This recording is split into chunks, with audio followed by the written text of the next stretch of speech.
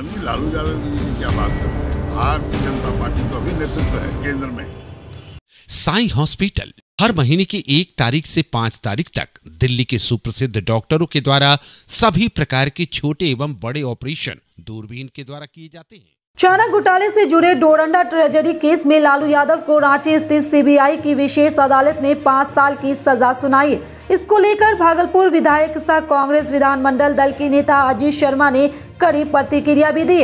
अजीत शर्मा ने कहा कि भारतीय जनता पार्टी के खिलाफ जो भी नेता आवाज़ उठाता है, उसे फंसा दिया जाता है। हालाँकि ऊपर की अदालत में लालू यादव को ज़रूर न्याय मिलेगा।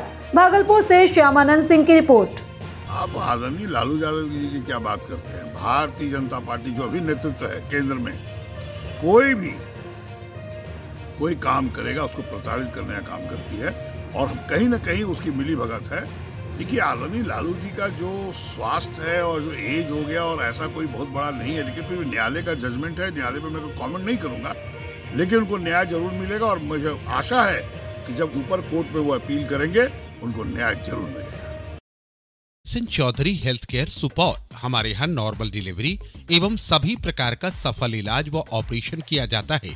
साथ ही प्रत्येक सोमवार को निशुल्क परामर्श दिया जाता है। संपर्क करें S N Chaudhary health care नगर परिषद सुपौल, सुधा डेयरी के सामने। Mobile number double eight one zero two one nine seven one nine और nine four three zero two eight zero one double seven.